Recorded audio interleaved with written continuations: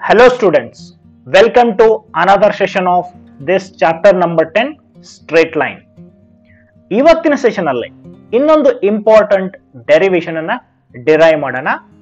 ಅದುವೇ distance of a point from a line ಏನಿದು distance of a point from a line ಅಂದ್ರೆ suppose there is a one line L ಅದರ equation a x plus b y plus c to zero ಆಗಿರಲಿ ಇಲ್ಲೊಂದು point ಇದೆ P ಅದರ coordinates x one y one ಈ point ಇಂದ ಈ line ಇರ್ತಕ್ಕಂಥ ಪರ್ಪೆಂಡಿಕ್ಯುಲರ್ ಡಿಸ್ಟೆನ್ಸ್ ಅಥವಾ ಈ ಲೈನ್ ಅನ್ನೋದು ಈ ಪಿ ಪಾಯಿಂಟ್ ಇಂದ ಎಷ್ಟು ಪರ್ಪೆಂಡಿಕ್ಯುಲರ್ ಡಿಸ್ಟೆನ್ಸ್ ಅಲ್ಲಿ ಇದೆ, ಅದನ್ನ ನಾವು ಡಿ ಅಂತ ಸೂಚಿಸಿದ್ರೆ, ಈ ಡಿ ಗೆ ಎಕ್ಸ್ಪ್ರೆಷನ್ ಇದರ ಲೆಂತ್ ಅನ್ನ ನಾವು ಈ ಫಾರ್ಮುಲಾದಿಂದ ಫೈಂಡ್ ಔಟ್ ಮಾಡ್ತೀವಿ. D equal to a x one plus b y one plus c divided by root of a square plus b square under the mod so ಇದನ್ನ ನಾವು ಡಿರೈವ್ ಮಾಡೋಣ. ಇದರ ಮೇಲೆ ಕ್ವಶನ್ ಯಾವ ತರ ಕೇಳ್ತಾರೆ ನಿಮಗೆ ಫೈವ್ ಮಾರ್ಕ್ಸ್ ಇದು derive an expression for distance of a point from a line a x plus b y plus c equal to zero from the point x one y one in the form ಈ ತರ. D equal to mod of a x one plus b y one plus c divided by root of a square plus b square very simple ಈ a x plus b y plus c equal to zero ಲೈನ್ಗೆ x one y one point ಇಂದ ಇರತಕ್ಕಂಥ perpendicular distance ಈ formula ಕೊಡುತ್ತೆ. ಇದನ್ನ derive ಮಾಡೋಣ. ಇದನ್ನ derive ಮಾಡೋಕ್ಕಿಂತ ಮುಂಚೆ ಇದೊಂದು ನೋಟ್ ಅನ್ನ ಬರ್ಕೊಳ್ಳಿ ನೀವು. For the line a x plus b y plus c equal to zero ಇದೊಂದು ಲೈನ್ ಇದೆ. A x plus b y plus c equal to zero with c equal to not zero ಇದರ X intercept ಎಷ್ಟು Y intercept ಎಷ್ಟು ಅನ್ನೋದನ್ನ find out ಮಾಡೋಣ. ಇದರಲ್ಲಿ x equal to zero put ಮಾಡಿದ್ರೆ, ಈ ಇಕ್ವೇಶನ್ ಅಲ್ಲಿ x equal to zero put ಮಾಡಿ y ಗೆ ಸಾಲ್ವ್ ಮಾಡಿದ್ರೆ ಏನಾಗುತ್ತೆ? B y equal to minus c ಆಗುತ್ತೆ. ಅಂದ್ರೆ y equal to minus c by b ಆಗುತ್ತೆ. ಸೊ ಇದು ಅದರ ವೈ ಇಂಟರ್ಸೆಪ್ಟ್ ಅದೇ ರೀತಿ y ಈಕ್ವಲ್ ಟು ಝೀರೋ ಏನಾದ್ರು ಪುಟ್ ಮಾಡಿದ್ರೆ ನಮಗೆ a x equal to minus c ಆಗುತ್ತೆ. ಅಂದ್ರೆ x equal to minus c by a so ಇದು ಅದರ ಎಕ್ಸ್ ಇಂಟರ್ಸೆಪ್ಟ್ ಸೊ ಈ ಲೈನ್ ಅನ್ನ ನಾವು ಡ್ರಾ ಮಾಡಬೇಕಾದ್ರೆ ಇವೇ ಇಂಟರ್ಸೆಪ್ಟ್ ಕನ್ಸಿಡರ್ ಮಾಡಿಕೊಂಡು ಲೈನ್ ಅನ್ನ ಡ್ರಾ ಮಾಡೋಣ. So x equal to zero ಅಂದ್ರೆ ಇದು ವೈ ಆಕ್ಸಿಸ್ ಮೇಲೆ ಪಾಯಿಂಟ್ ಇಲ್ಲಿ ಬರುತ್ತೆ. Y equal to minus c by b ನಲ್ಲಿ. ಎಸ್ ಸೊ ಪ್ರೂವ್ ಮಾಡೋಣ. ಸೊ ರೈಟ್ ಪ್ರೂಫ್ ಏನ್ ಮಾಡಿ? ಎಕ್ಸ್ ಆಕ್ಸಿಸ್ ವೈ ಆಕ್ಸಿಸ್ ಅನ್ನ ಡ್ರಾ ಮಾಡಿ. ಕನ್ಸಿಡರ್ ಅ ಲೈನ್ ಎಲ್ ಅದರ equation a x plus b y plus c equal to zero consider a line L and a point P x one y one ಇಲ್ಲಿಂದ ಇದಕ್ಕೆ ಒಂದು perpendicular ಅನ್ನ draw ಮಾಡಿ. That is ಅದರ distance D ತಗೊಳ್ಳಿ. ಈ perpendicular ಅನ್ನ ಪಿ ಎಂ ಅಂತ ಅನ್ನಿ. Okay so draw P M perpendicular to the line L ಅದರ ಲೆಂತ್ ಅನ್ನ ಡಿ ಅನ್ನ ಸೊ ನಮಗೆ ಇಂಟ್ರೆಸ್ಟ್ ಇರೋದು ಈಗ ಈ ಲೆಂತ್ ಪಿ ಎಂ ಅನ್ನ ಫೈಂಡ್ ಔಟ್ ಮಾಡೋದು. So write let a x plus b y plus c equal to zero be the line whose distance from the point P x one y one is d okay ಈ ಲೈನ್ಗೆ P point ಇರ್ತಕ್ಕಂಥ ದೂರ D ಅಂತ assume ಮಾಡ್ಕೊಳ್ಳಿ. S ಇವಾಗ ಇದರ ಈ line ಏನೋ ಇಂಟ್ರೆಸ್ಟ್ ಕಟ್ ಮಾಡಿದೆಲ್ಲ ಎಕ್ಸ್ ಆಕ್ಸಿಸ್ ವೈ ಆಕ್ಸಿಸ್ ನಾ ಹಿಂದೆ ಹೇಳಿದಂಗೆ ಇದರ ಎಕ್ಸ್ ಇಂಟರ್ಸೆಪ್ಟ್ ಮತ್ತು ವೈ ಇಂಟರ್ಸೆಪ್ಟ್ ಅನ್ನ ಇಲ್ಲಿ ಗುರುತು ಮಾಡಿ. ಸೊ ಇದರ ಎಕ್ಸ್ ಇಂಟರ್ಸೆಪ್ಟ್ ಅಂದ್ರೆ ವೈ ಈಕ್ವಲ್ ಟು ಜೀರೋ ಆದಾಗ ಎಕ್ಸ್ ಈಕ್ವಲ್ ಟು ಏನು ಬಂದಿದೆ? ಮೈನಸ್ ಸಿ ಬೈ ಎ ಅದನ್ನ ಕ್ಯೂ ಪಾಯಿಂಟ್ ಅನ್ನಿ.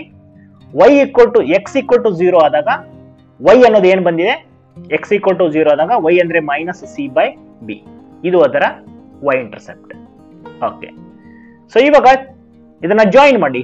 ಪಿ ಆರ್ ಮತ್ತು P Q join P Q and P R so right this join P R and P Q ಇಲ್ಲಿ ಏನಾಗಿದೆ ನೋಡಿ? Here area of triangle ಇಲ್ಲಿ triangle ಗಮನಿಸಿ ಇಲ್ಲಿ. P Q R okay so entire result ಇರೋದು ಇಲ್ಲಿ area ಮೇಲೆ ಮತ್ತು ಡಿಸ್ಟೆನ್ಸ್ ಫಾರ್ಮಲ್ ಮೇಲೆ ಡಿಪೆಂಡ್ ಆಗಿದೆ. Area of triangle P Q R area of triangle ನಮಗೆ ಹೇಗೆ ಫೈಂಡ್ ಔಟ್ ಮಾಡಬೇಕು ಅನ್ನೋದು ಗೊತ್ತಿದೆ. ಹಾಫ್ ಬೇಸ್ ಇಂಟು ಹೈಟ್ ಅಥವಾ height into half height into base so area of triangle P Q R equal to ಎಷ್ಟು half P M into P that's R Q ಇದರ length ಅನ್ನು ಏನ್ ನಾವು? P M okay so height ಅನ್ನೋದು P M ಇದೆ. ಇದರ base ಅನ್ನೋದು Q R ಇದೆ. So area of triangle P Q R equal to half P M into Q R so ಈ ಪಾಯಿಂಟ್ಸ್ ಅನ್ನ, ಈ ಆರ್ ಮತ್ತು ಕ್ಯೂ ಪಾಯಿಂಟ್ಸ್ ಅನ್ನ ಎಕ್ಸ್ ಟು ವೈ ಟು ಈ ಕ್ಯೂ ಪಾಯಿಂಟ್ಸ್ ಅನ್ನ ಎಕ್ಸ್ ಟು ವೈ ಟು ಅಂತ ತೆಗೆದುಕೊಳ್ಳಿ. ಆರ್ ಪಾಯಿಂಟ್ನ ಕೋಆರ್ಡಿನೇಟ್ಸ್ ಅನ್ನ ಎಕ್ಸ್ ತ್ರೀ ವೈ ತ್ರೀ ಅಂತ ಕನ್ಸಿಡರ್ ಮಾಡಿ. ಸೊ ಇವಾಗ ಈ ಏರಿಯಾ ಆಫ್ ಟ್ರಯಾಂಗಲ್ ಈ ಫಾರ್ಮುಲಾವನ್ನ ಬಳಸಿಕೊಂಡು ನಾವು ಪಿ ಎಂ ಅನ್ನ ಫೈಂಡ್ ಔಟ್ ಮಾಡೋಣ. Area of triangle P Q R equal to half P M into Q R ನಮಗೆ ಬೇಕಾಗಿರೋದು ಪಿ ಎಂ ಅದಕ್ಕೆ ಈ ಟೂ ಅನ್ನ ಈ ಕಡೆ ಕಳಿಸಿ ಕ್ಯೂ ಆರ್ ಅನ್ನ ಈ ಕಡೆ ಕಳಿಸಿ. So P M equal to ಏನಾಗುತ್ತೆ ನೋಡಿ? ಪಿ ಎಂ ಈಕ್ವಲ್ ಟು ಈ ಟೂ ಮೇಲೆ ಹೋಗುತ್ತೆ ಕ್ಯೂ ಆರ್ ಕೆಳಗಡೆ ಬರುತ್ತೆ. So P M equal to two into area of triangle P Q R divided by Q R okay so ಇದಕ್ಕೆ equation one ಅಂತ ಅನ್ಕೊಳ್ಳಿ. ಸೊ ನಮ್ಗೆ ಈಗ ಏನ್ ಮಾಡ್ಬೇಕಂತ ಹೇಳಿದ್ರೆ, ನಾವು ಕ್ಯೂ ಆರ್ ಫೈಂಡ್ ಔಟ್ ಮಾಡಬೇಕು ಮತ್ತು ಏರಿಯಾ ಆಫ್ ಟ್ರಯಾಂಗಲ್ ಅನ್ನ ಫೈಂಡ್ ಔಟ್ ಮಾಡಿ ಇಲ್ಲಿ ಸಬ್ಸ್ಟಿಟ್ಯೂಟ್ ಮಾಡಿದ್ರೆ ನಮಗೆ ಪಿ ಎಂ ಸಿಗುತ್ತೆ. ಇವಾಗ ಮೊದಲು ಏರಿಯಾ ಆಫ್ ಟ್ರಯಾಂಗಲ್ ಅನ್ನ ಫೈಂಡ್ ಔಟ್ ಮಾಡೋಣ. ಸೊ ಏರಿಯಾ ಆಫ್ ಟ್ರಯಾಂಗಲ್ ಅನ್ನ ಫೈಂಡ್ ಔಟ್ ಮಾಡಲಿಕ್ಕೆ ನಮಗೆ ಕೋಆರ್ಡಿನೇಟ್ಸ್ ಗೊತ್ತಿದೆ. ಸೊ ಕೋಆರ್ಡಿನೇಟ್ಸ್ ಅನ್ನ ಯೂಸ್ ಮಾಡಿಕೊಂಡು ಏರಿಯಾವನ್ನ ಹೇಗೆ ಫೈಂಡ್ ಔಟ್ ಮಾಡಬಹುದು ಅನ್ನೋದೊಂದು ಫಾರ್ಮುಲಾ ನಮ್ಗೆ ಗೊತ್ತಿದೆ. So area of triangle P Q R is given by one by two X one into Y two minus Y three plus X two into Y three minus Y one plus X three into Y one minus Y two ಇವಾಗ coordinates ನಮಗೆ ಗೊತ್ತಿದೆ. ಅವುಗಳನ್ನ ಇಲ್ಲಿ substitute ಮಾಡೋಣ. ನೋಡಿ P ಅಂದ್ರೆ X one Y one Q ಅಂದ್ರೆ X two Y two ಅಂದ್ರೆ minus C by A comma zero ಆಮೇಲೆ ಆರ್ ಅಂದ್ರೆ ಎಕ್ಸ್ ತ್ರೀ ವೈ ತ್ರೀ ಅಂತ ಕನ್ಸಿಡರ್ ಮಾಡಿದೀವಿ, ಅದು zero comma minus C by B so ಇಲ್ಲಿ ಸಬ್ಸ್ಟಿಟ್ಯೂಟ್ ಮಾಡೋಣ. X one X two X three Y one Y two Y three substitute ಮಾಡಿದ್ರೆ ಏನ್ ಬರುತ್ತೆ ನೋಡಿ? ಎಕ್ಸ್ ಒನ್ ಹಾಗೆ ಇಡಿ. ವೈ ಟು ಅಂದ್ರೆ ಝೀರೋ ವೈ ತ್ರೀ ಅಂದ್ರೆ minus C by B so minus into minus ಅಂದ್ರೆ ಪ್ಲಸ್ ಸಿ ಬೈ ಬಿ ಆಗುತ್ತೆ. ಎಕ್ಸ್ ಟು ಅಂತ ಹೇಳಿದ್ರೆ minus C by A Y three ಅಂದ್ರೆ minus C by B Y one ಹಾಗೆ ಇಡಿ. X three ಅನ್ನೋದು zero ಇದೆ ವೈ ಒನ್ ಹಾಗೆ ಇಡಿ. ವೈ ಟು ಅಂದ್ರೆ ಝೀರೋ ಇರೋದ್ರಿಂದ ಅದು ಝೀರೋ ಆಗುತ್ತೆ. ಸೊ ಇವಾಗ ಇದಕ್ಕೆ ಇದಕ್ಕೆ ಮಲ್ಟಿಪ್ಲೈ ಮಾಡಿ. ಏನಾಗುತ್ತೆ ನೋಡಿ? X one into C by B ಅಂದ್ರೆ you will get X one into C by B ಇಲ್ಲಿ minus into minus plus C into C C square ಆಗುತ್ತೆ ಬೈ ಎ ಬಿ ಇಲ್ಲಿ ಮೈನಸ್ ಇಂಟು ಮೈನಸ್ ಮತ್ತೆ plus ಆಗುತ್ತೆ C Y one ಅಥವಾ Y one C by A ಆಗುತ್ತೆ. ಈ term zero ಆಗುತ್ತೆ. Okay ಇವಾಗ ನೋಡಿ ಎಲ್ಸಿಎಂ ತಗೊಳ್ಳಿ. ಇಲ್ಲಿ ಬಿ ಇದೆ, ಇಲ್ಲಿ ಎ ಬಿ ಇದೆ, ಇಲ್ಲಿ ಎ ಇದೆ. ಓಕೆ ಸೊ ಎಲ್ಸಿಎಂ ಅನ್ನ ಎ ಬಿ ಮಾಡ್ಕೊಳ್ಳಿ. ಅದಕ್ಕೆ, ಇದಕ್ಕೆ ಎ ಇಂದ ಮಲ್ಟಿಪ್ಲೈ ಮಾಡಿ ಫಸ್ಟ್ ಟರ್ಮ್ಗೆ ಸೊ ಇಲ್ಲಿ ಎ ಬಿ ಇರೋದ್ರಿಂದ ಏನು ಅವಶ್ಯಕತೆ ಇಲ್ಲ. ಸಿ ಸ್ಕ್ವೇರ್ ಹಾಗೆ ಹೇಳಿ. ಥರ್ಡ್ ಟರ್ಮ್ ಅಲ್ಲಿ ಡಿನಾಮಿನೇಟರ್ ಅಲ್ಲಿ ಎ ಇರೋದ್ರಿಂದ ಅದನ್ನ ಎ ಬಿ ಮಾಡ್ಲಿಕ್ಕೆ ನ್ಯೂಮರೇಟರ್ ಅಲ್ಲಿ ಬಿ ಇಂದ ಮಲ್ಟಿಪ್ಲೈ ಮಾಡಿ. ಎಸ್ ಅದಕ್ಕೆ ಏನಾಗಿತ್ತು? B C by B C into Y one okay so ಇವಾಗ ಸಿ ಮತ್ತು ನ್ಯೂಮರೇಟರ್ ಅಲ್ಲಿ ಸಿ ಡಿನಾಮಿನೇಟರ್ ಅಲ್ಲಿ ಎ ಬಿ ಇದೆ. ಅದನ್ನ ಔಟ್ ಆಫ್ ದಿ ಮಾಡ್ ಇಡಿ. ಸೊ ಸಿ ಅನ್ನ ಕಾಮನ್ ತಕ್ಕೊಂಡ್ರೆ ಇದರಿಂದ ಏನಾಗುತ್ತೆ? A that is half mod of C by A B numerator ಅಲ್ಲಿ ಸಿ ಅನ್ನ ಕಾಮನ್ ತಕ್ಕೊಳ್ಳೋಣ. ಈ ಎ ಬಿ ಕಾಮನ್ ಡಿನಾಮಿನೇಟರ್ ಅನ್ನ ಆಚೆ ಇಡೋಣ. So I'll get C by A B into mod of A X one plus B Y one plus C so ಇದು ಏನಾಯ್ತು? Area of triangle P Q R ಇವಾಗ ನಾವು distance ಫಾರ್ಮುಲಾದಿಂದ ಈ Q R ಅನ್ನ ಫೈಂಡ್ ಔಟ್ ಮಾಡೋಣ. Q R so Q R ಅಂದ್ರೆ ಏನು? ಕ್ಯೂ ಆರ್ ಕೋಆರ್ಡಿನೇಟ್ಸ್ ನೋಡ್ಕೊಳ್ಳಿ. ಕ್ಯೂ ಅಂದ್ರೆ ಎಕ್ಸ್ ಟು ವೈ ಟು ಮತ್ತು ಆರ್ ಅಂದ್ರೆ ಎಕ್ಸ್ ತ್ರೀ ವೈ ತ್ರೀ ಇದೆ. ಸೊ ಈಗ by distance formula Q R ಅನ್ನ ಫೈಂಡ್ ಔಟ್ ಮಾಡೋಣ. So X three minus X two square plus Y three minus Y two whole square substitute ಮಾಡಿ. X three ಅಂದ್ರೆ zero ಇದೆ. X two ಅಂದ್ರೆ minus C by ಇದೆ. So minus ಮಾಡಿದ್ರೆ plus ಆಗುತ್ತೆ. C by A whole square plus Y three ಅಂದ್ರೆ Y three ಅಂದ್ರೆ minus C by B ಇದೆ ವೈ ಟು ಅಂದ್ರೆ ಝೀರೋ ಇದೆ. ಸೊ ಅದು ಮೈನಸ್ ಝೀರೋ ಸೊ ಇದನ್ನ ಸ್ಕ್ವೇರ್ ಮಾಡಿದ್ರೆ C square by A square ಆಗುತ್ತೆ. That is C by A whole square ಇದು ನೆಗೆಟಿವ್ ಅನ್ನ ಸ್ಕ್ವೇರ್ ಮಾಡಿದ್ರೆ ಪ್ಲಸ್ ಆಗುತ್ತೆ. ಅದು C by B whole square ಇವಾಗ ಇವೆರಡರಲ್ಲಿ ನ್ಯೂಮರೇಟರ್ ಏನ್ ಕಾಮನ್ ಇದೆ? ಸಿ ಸ್ಕ್ವೇರ್ ಸಿ ಸ್ಕ್ವೇರ್ ಇದೆ. ಅದನ್ನ ಔಟ್ ಆಫ್ ರೂಟ್ ತಗೊಂಡ್ರೆ ಸಿ ಹೊರಗೆ ಬರುತ್ತೆ. ಓಕೆ ಏನ್ ನೋಡಿ ಇಲ್ಲಿ? ಇಲ್ಲಿ ಸಿ ಸ್ಕ್ವೇರ್ ಅನ್ನೋದು ನ್ಯೂಮರೇಟರ್ ಅಲ್ಲಿ ಕಾಮನ್ ಇದೆ. ಅದನ್ನ ರೂಟ್ ಇಂದ ಆಚೆ ತಕ್ಕೊಳ್ಳಿ. ಸೊ ಸಿ ಆಗುತ್ತೆ. ನಮಗೇನ್ ಬರುತ್ತೆ? C into root of one by A square plus one by B square ಇಲ್ಲಿ ಎಲ್ಸಿಯಂ ತಗೊಳ್ಳಿ. ಏನಾಗುತ್ತೆ? C into B square plus A square by A square B square so ಈ ಸ್ಕ್ವೇರ್ ರೂಟ್ ಅಲ್ಲಿ A square B square ಇರೋದ್ರಿಂದ ನಾವು ಅದನ್ನ ಹೀಗೆ ಇಡ್ಬೋದು. C by a into b square root of a square plus b square. So ಇವಾಗ ನಮ್ಮ ಹತ್ರ ಏರಿಯಾ ಆಫ್ ಟ್ರ್ಯಾಂಗಲ್ ಇದೆ ಮತ್ತು ಕ್ಯೂ ಆರ್ ಲೆಂತ್ ಗೊತ್ತಾಗಿದೆ. So from equation one from equation one ಏನಿದೆ ನೋಡಿ? P M equal to two by Q R into area of triangle P Q R ನಮಗೆ P M ಬೇಕಾಗಿದೆ. So two by Q R into area of triangle P Q R ಅಂತ equation one ಅಲ್ಲಿ ನಾವು ನೋಡಿದೀವಿ. So ಇವಾಗ Q R ಮತ್ತು area of triangle ಅನ್ನ substitute ಮಾಡೋಣ. ಸೊ ಏನಾಗುತ್ತೆ ನೋಡಿ? P M equal to two by ಇದು ಕ್ಯೂ ಆರ್ ಅಂದ್ರೆ C by A B into root of A square plus B square into area of triangle ಅಂತಂದ್ರೆ ಇದನ್ನ prove ಮಾಡಿದೀವಿ ನಾವು. Half C by A B mod ಹಾಕಿದ್ರು ಆಯ್ತು ಬಿಟ್ರೆ ಆಯ್ತು ಯಾಕಂದ್ರೆ they are positive into root of that's mod of A X one plus B Y one plus C ನೋಡಿ C by A B C by A B cancel ಆಗುತ್ತೆ. ಮತ್ತೆ ಟೂನು cancel ಆಗುತ್ತೆ.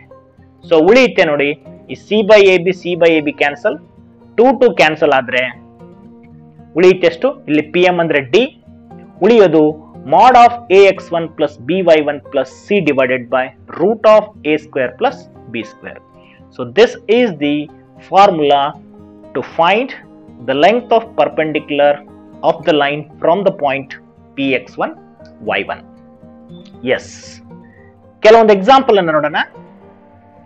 ನೋಡಿ find the distance of the point three comma minus five from the line three X minus four Y minus twenty six equal to zero okay so ಈ point ಇಂದ ಈ ಲೈನ್ಗೆ ಇರ್ತಕ್ಕಂಥ ಡಿಸ್ಟನ್ಸ್ ಅನ್ನ ಕೇಳಿದ್ದಾರೆ ಬರೀರಿ. ಪಾಯಿಂಟ್ಸ್ ಏನಿದೆ? ಇಲ್ಲಿ ಈ ಇಕ್ವೇಶನ್ ಅನ್ನ ನಾವು A X plus B Y plus C ಗೆ ಕಂಪೇರ್ ಮಾಡಿದ್ರೆ ಎ ಅನ್ನೋದು ತ್ರೀ ಆಗುತ್ತೆ ಬಿ ಅಂದ್ರೆ ಮೈನಸ್ ಫೋರ್ ಸಿ ಅಂದ್ರೆ ಮೈನಸ್ ಟ್ವೆಂಟಿ ಸಿಕ್ಸ್ ಆಮೇಲೆ ಎಕ್ಸ್ ಒನ್ ವೈ ಒನ್ ಅಂದ್ರೆ three comma minus five so X one Y one ಅಂದ್ರೆ three comma minus five so distance formula ಏನಿದೆ? ಅದನ್ನ ಹಾಕಿ. ಸೊ ಎ ಅಂದ್ರೆ ಬಿ ಅಂದ್ರೆ ಸಿ ಇದೆ ಎಕ್ಸ್ ಒನ್ ವೈ ಒನ್ ಇದೆ. So formula D equal to mod of A X one plus B Y one plus C divided by this substitute ಮಾಡಿ. A ಅಂದ್ರೆ three ಇದೆ ಎಕ್ಸ್ ಒನ್ ಅಂದ್ರೆ three ಇದೆ. So three into three minus B ಅಂದ್ರೆ minus ಇರೋದ್ರಿಂದ minus four ಮತ್ತು ಇಲ್ಲಿ Y one ಅಂದ್ರೆ ಮೈನಸ್ ಫೈವ್ ಸಿ ಅಂದ್ರೆ ಮೈನಸ್ ಟ್ವೆಂಟಿ ಸಿಕ್ಸ್ ಇದೆ. Divided by root of A square ಅಂದ್ರೆ three square plus minus four square simplify ಮಾಡಿ. ತ್ರೀ ಇಂಟು ತ್ರೀ ನೈನ್ ಆಗುತ್ತೆ.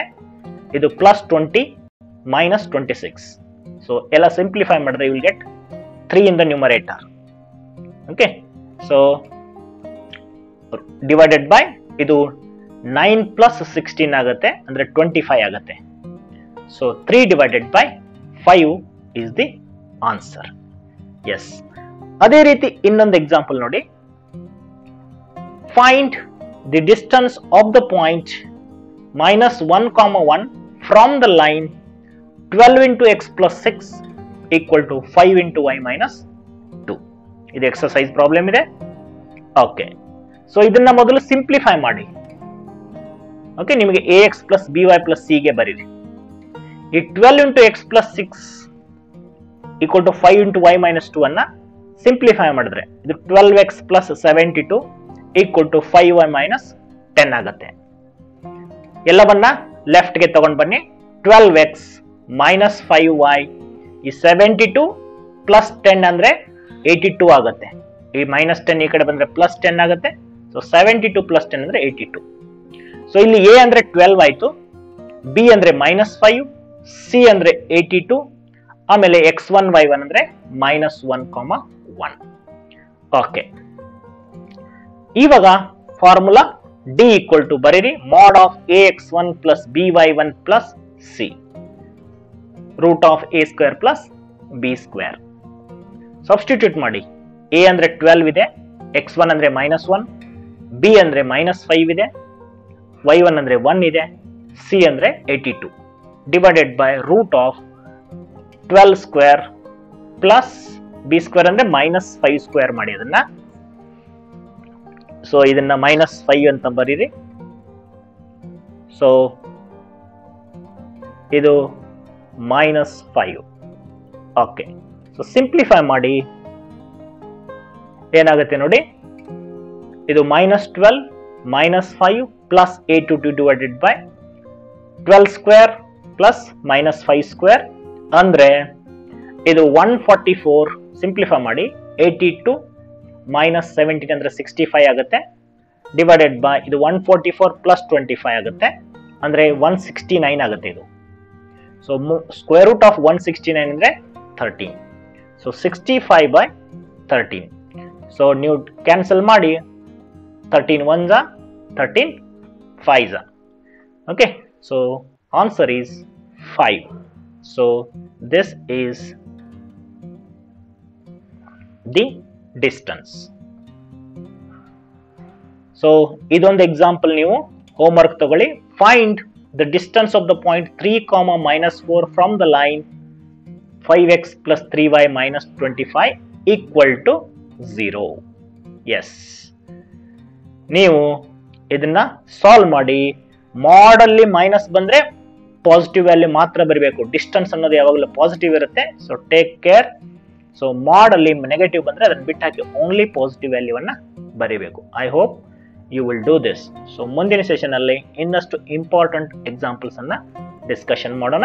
ಸೊ ಇನ್ ಒಂದು ಸೆಷನ್ ಅಲ್ಲಿ ಈ ಚಾಪ್ಟರ್ ಕ್ಲೋಸ್ ಆಗುತ್ತೆ. So take care and bye